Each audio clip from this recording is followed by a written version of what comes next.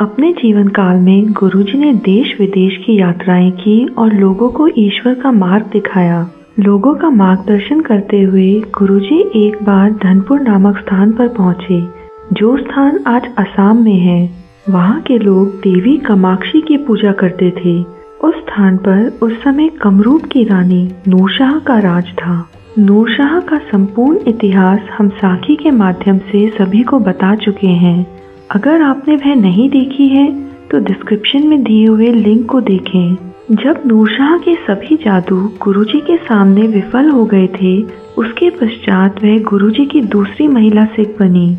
जब गुरुजी उस स्थान को छोड़कर जा रहे थे, तब नूरशाह ने गुरुजी से उनकी कोई यादगार वस्तु मांगी, जिसे वह गुरुजी की याद में हमेशा अपने साथ रख सके। उस समय गुरुजी अपने साथ एक बर्छा, यानी भाला जंगल की यात्राओं के लिए रखते थे। उस बर्छे से गुरुजी ने ज़मीन पर वहाँ एक निशान बनाया। बाद में उस स्थान को खोदकर गुरुजी की इच्छा अनुसार एक तालाब बनाया गया। वह बर्छा या भाला गुरुजी नूरशाह को उपहार स्वरूप दे आए थे। इस स्थान पर आज गुरुद्वारा बर्छा साहिब है, जो कि असम में है। आइए देखें, असम की यात्रा में क्या हुआ था। ढाका की यात्रा के पश्चात गुरु नानक देव जी और भाई मर्दाना एक बियाबान जंगल में ठहरे। भाई मर्दाना ने गुरुजी से कहा, गुरुजी, ढाका में कितना अच्छा था। खाना पीना ईश्वर की पूजा करना सभी कुछ समय पर हो रहा था और एक तरफ़ यह स्थान है यहाँ पर ना खाना है ना पीना है और ना कोई सोने की सही जगह। जाने हम इस जंगल में क्यों आए हैं? और अभी तक हमने यहाँ पर भोजन नहीं किया है। मैं पास ही कोई शहर ढूंढता हूँ वहाँ जाकर भोजन का प्रबंध कर कर आता हूँ। गुरुजी बोले मर्दाना शहर मत जाओ मेरे पास मेरे ही रहो, रहो। रात हो गई। अगली सुबह भाई मर्दाना फिर गुरुजी से बोले गुरुजी बहुत भूख लगी है। मैं शहर जाता हूँ और भोजन का प्रबंध कर कर आता हूँ। मर्दाना शहर मत जाओ मेरे पास मेरे ही रहो, रहो। इसी तरह तीसरा दिन भी निकल गया। अब भाई मर्दाना की भूख के मारे हालत खराब थी। गुरुजी तीन दिनों से हमने खाना नहीं खाया है। अब तो भूख के मारे जान निकली जा रही है। मैं शहर जाता हूँ और शहर से भोजन का प्रबंध कर कर आता हूँ। आप बार बार जाने के लिए मना क्यों कर रहे हैं? मैं जल्द ही लौट आऊँगा। भाई मर्दाना को जिद करते देख गुरुजी बोले ठीक है मर्दाना जाओ परंतु अपना विवेक व उत्साह कम मत होने देना। निर्भीक बने रहना। यह सुनकर भाई मर्दाना वहाँ से निकल गए। रास्ते में चलते चलते भाई मर्दाना सोच रहे थे हम ढाका में जिस जगह रह रहे थे, वहाँ किसी चीज़ की कमी नहीं थी। जाने क्यों गुरुजी इतनी अच्छी जगह को छोड़कर ऐसे स्थान आए, जहाँ ना खाना है, ना पीना। तीन दिन से कुछ नहीं खाया। ऐसे में ईश्वर का भजन कैसे करूँ?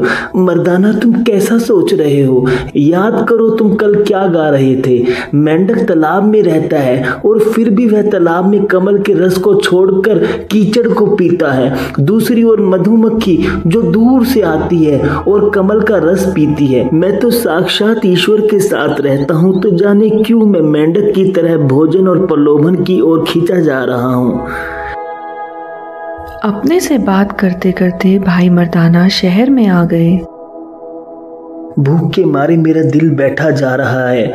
किसका दरवाज़ा खटखटाऊं इस अनजान शहर में? कितना विचित्र शहर है। सभी और औरतें ही औरतें हैं। खेतों में औरतें, दुकानों में औरतें, बेचने वाली औरतें, खरीदने वाली औरतें, सभी मुझे घूर रही हैं। कोई भी ऐसी दयालु नहीं है जो मुझसे यह कहे, भोजन कर लो। सिर्फ़ मुझे घूरे जा रही हैं। सब पे दया करने वाले गुरुवर मेरी सहायता करो। मुझे कुछ समझ नहीं आ रहा। क्या हो रहा है? सभी और गहरा सन्नाटा है। अरे, यह कैसा महल है, जिसके सभी दरवाजे बंद हैं? अरे, लगता है कोई ऊपर से मुझे देख रहा है। शायद वो ये कहेगी कि, ओ, भले आदमी, भोजन कर लो। परंतु उस औरत ने एक शब्द भी नहीं कहा। कैसे विचित्र लोग हैं। एक शब्द भी नहीं कहा, मैं आगे चलता हूँ। अरे, पर मेरे पाँव आगे क्यों नहीं बढ़ रहे हैं? मैं पूरी कोशिश कर रहा हूँ, परंतु फिर भी मेरे पाँव आगे नहीं बढ़ रहे हैं। लगता है भूख के मारे मेरे में शक्ति नहीं बची है। नहीं नहीं, मेरे में तो शक्ति अभी बहुत है। पता नहीं क्या हो रहा है कि मैं अपने पाँव आगे नहीं बढ़ा पा रहा हूँ। मर्दाना, मत भूलो गुरु जी ने क्या कहा था। अपना चेतन बनाए रखना, हिम्मत से काम लेना, पर इतनी भूख में मैं अपना चेतन कैसे बनाऊँ? परंतु गुरु भी तो भूखे हैं। वो तो अपना चेतन बनाए हुए हैं। तो मैं भी उनके आशीर्वाद से अपना चेतन बनाए रख सकता हूँ। इतने में ही वहाँ एक दरवाज़ा खुला। किसने खोला? कुछ नहीं दिखाई दिया। दरवाज़ा खुलते ही एक बड़ा बरामदा दिखाई दिया। तभी भाई मर्दाना को दिखा, किसी ने एक सफ़ेद चादर बिछाई। पर किसने बिछाई, वह भी नहीं दिखाई दिया। चादर के ऊपर भाई मर्दाना को चावल से भरी एक थाली दिखाई दी। भाई मर्दाना तुरंत अंदर गए जैसे ही वह जिस दरवाजे से अंदर गए थे वह दरवाज़ा बंद हो गया। अब वहाँ चावलों से भरी थाली नहीं थी। तभी भाई मर्दाना की नज़र एक और गई।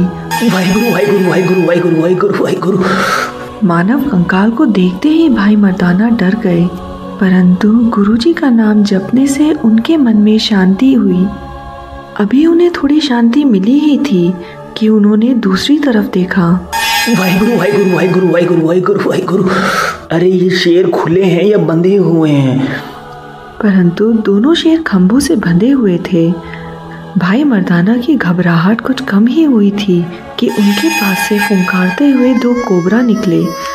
भाई मर्दाना की आँखें डर के मारे बंद हो गई थी। जैसे ही भाई मर्दाना ने आँखें खोली, अब ना वहाँ कोई सर्प था, ना ही कोई शेर। चावलों की थाली फिर से मेज पर रखी हुई थी। तभी एक सुंदर कन्या हाथ में पानी से भरा गिलास लेकर आई और मेज पर रख दिया। दूसरी कन्या ने भाई मर्दाना को बैठने के लिए कुर्सी दी। तीसरी कन्या दूध से भरा गिलास लेकर आई और मेज पर रख दिया। किसी ने भी भाई मर्दाना से बात नहीं की। ऐसा मालूम हो रहा था मानो कठपुतली का खेल चल रहा है। भाई मर्दाना ने पीछे मुड़कर देखा, जो कंकाल लटक रहा था, वह वहाँ से गायब था, दरवाज़ा बंद था। उन्होंने सभी और देखा, परंतु अब वहाँ ऐसा कुछ नहीं था जिससे भय लगे। सामने से चावलों की खुशबू आ रही थी।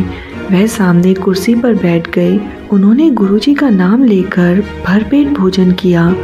भोजन करने के पश्चात उन्होंने मन में कहा, कैसा विचित्र शहर है, कोई बात नहीं करता। ईश्वर करे यह कोई जादू ना हो, ना ही मैं कोई सपना देख रहा हूँ। पता नहीं यह सब सच में हो रहा है या सिर्फ़ भ्रम है, परंतु मेरी भूख शांत हो गई है, और इसका मतलब यह भ्रम नहीं है। भूख शांत होने के पश्चात भाई मर्दाना को नींद आने लगी, परंतु दूसरी तरफ़ उनका दिमाग वापस गुरुजी के पास जाने को कहने लगा। उन्होंने वापस जाने के लिए पीछे देखा जहाँ से उन्होंने प्रवेश किया था, परंतु वहाँ एक पलंग पड़ा था और उसके ऊपर सफ़ेद चादर बिछी हुई थी। वह पलंग पर बैठ गए। बैठते ही जाने क्या हुआ, वह सोने के लिए लेट गए। लेटते ही भाई मर्दाना को गहरी नींद आ गई। परंतु थोड़ी देर में ही उन्हें दो काली बिल्लियाँ दिखाई दी जो कि उन्हें घूर रही थी। घबराहट के मारे उनकी नींद खुल गई और वहाँ कुछ नहीं था। वहाँ एक बड़ा कमरा था जो कि बहुत सुंदर लग रहा था। नीचे लाल कालीन बिछा था। भाई मर्दाना का पलंग सोने का हो गया था। वह तुरंत उठकर बैठ गए और इधर उधर देखने लगे। लोग कितनी शानो शौकत और आराम से रहते हैं। ईश्वर ने उनके लिए सभी कुछ कितना आरामदायक बनाया है। अरे ये मोमबत्तियाँ क्यों जल रही हैं? जब मैं यहाँ आया था तो तो दिन था। क्या अब रात हो गई है? मैं क्या करूँ? वापस जाने का रास्ता कैसे ढूंढूं? वाहे गुरु मुझे रास्ता दिखाओ। वह तुरंत दरवाजे की ओर गए परंतु तभी वहाँ एक बेहद ही खूबसूरत औरत अपने घुटनों के बल बैठ गई और बोली बोलो मेरे लिए क्या आदेश है? मुझे बाहर जाने का रास्ता दिखाओ। कहाँ जाओगे? मुझे जंगल में जाना है। जंगल में क्या है? वहाँ मेरे गुरुवर हैं। अगर वो भी यहाँ आ जाए तो? हाँ वो यहाँ आ जाएँगे क्योंकि मुझे बहुत देर हो चुकी है। मेरी गलती थी कि उनके मना करने के बावजूद भी मैं यहाँ आया हूँ। मुझे वो माफ़ कर देंगे। वो बहुत दयालु हैं मुझे क्षमा कर देंगे।